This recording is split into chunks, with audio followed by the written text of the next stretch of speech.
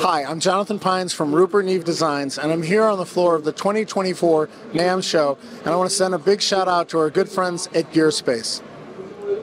Today I'm going to show you a little bit about a new piece that we have that's really been causing quite a bit of sensation, and people have a lot of questions about it. This is the Master Bus Transformer. One of the questions that we get from a lot of customers is, what's the difference between the Master Bus processor, one of our most popular pieces that we've ever made, and the new Master Bus Transformer? The short form answer of this is the Master Bus processor is still the ultimate dynamics processor from Rupert Neve Designs and has the most dynamic control with compression, a wonderful built-in limiter, stereo field editor, and a couple of other tricks. The Master Bus Transformer, well, yes, it does have a uh, optical compressor and a Zener limiter in it, is really more about tone and vibe and color and character than dynamic control specifically. Let's take a quick tour of the Master Bus Transformer. On the input side, we have 12 dB of adjustable gain for to adjust drive, both up and down, and I'll explain a little bit more why later on. We have three high-pass filters on here, and I'll go through that because it's confusing to some customers. This one is strictly in the audio path and goes down to a low frequency of 15 hertz. Why so low? Because you can do, because with the cool equalizer, you can do the bump the low end, do the sharper dip off trick that you would with, say, a Pultec. Uh, also 15 hertz because EDM folks want to hear 20 and 25 hertz, but may want to clean up a tiny bit of subsonic stuff. Moving on, we have a very widely swept, very musical sounding equalizer. This is not for carving, this is for broad strokes.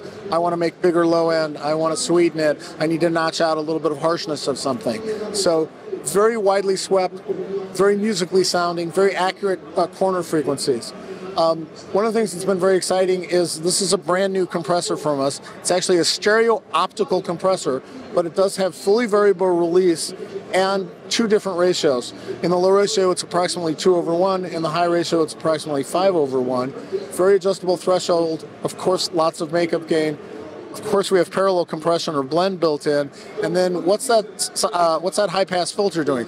It's in strictly in the sidechain of the audio path, so that you can make sure that instead of and with very bass heavy material, instead of having low frequency triggering the compressor or dominating the compression profile, you can use the sweep up the high pass filter eliminate a certain amount of the low frequencies from the control path. So it's not taking away any low end whatsoever. It's just telling the compressor to look more at mid-range frequencies. Um, again, designed primarily for its color, character, and temperament, a little bit less so about pure dynamic control, but often a certain amount of that as well. This is really a fun thing on Drum Crush. I urge you guys to try it out and then check out what it can do. I urge all of you to. Um, following that, we have a width control. We have a width control with a neat little trick in there.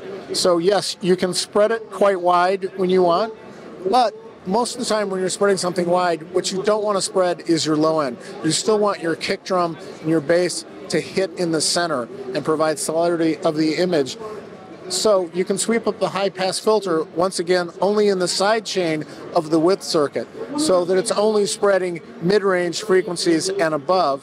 So you can go for say really nice wide guitar effects but still keep your rhythm section hitting hard in the middle. So very handy, very popular thing.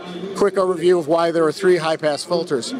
Next up, we have a thing that all our customers have been asking. Many of you on your forum have been asking for silk red and silk blue at the same time. Finally, we have it here with Super Silk. So you can independently adjust silk blue and silk red and the overall drive amount. And we added a Zener a drive limiter to that. So you have a soft clip circuit there with a Zener limiter um, neatly stuck in there and the ability to drive both silk red and silk blue. And silk is often misunderstood by people. It's not distortion. We're not clipping a FET. Uh, we're not using a diode. Uh, it's not a stomp box. What it is is genuine musical harmonics that are generated by the music you put into it. Um, one of the ways we do that is by saturating the output transformer. And one of the neat tricks that Rupert came up with is weighting it. So Silk Blue is predominantly low frequency harmonics, Silk Red is predominantly mid and high frequency harmonics. And for the first time, you can control the blend of the two and use both at the same time. Um, following it is, of course, a hard bypass on it, and another plus or minus 12 dB, dB of gain, which we had an extra section for that because silk is normally on the output transformer, so there's a whole nother section for that and more output transformers. Reason for that being you can develop so much gain through this that we need to be able to trim it back and control it for its drive to, say, uh, the ADD converter or the next piece of gear you're using.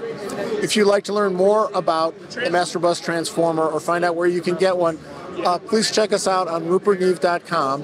I'm Jonathan Pines from the floor of the 2024 NAMM show, and we love everyone at Gearspace, and we love hearing from you. Thank you very much.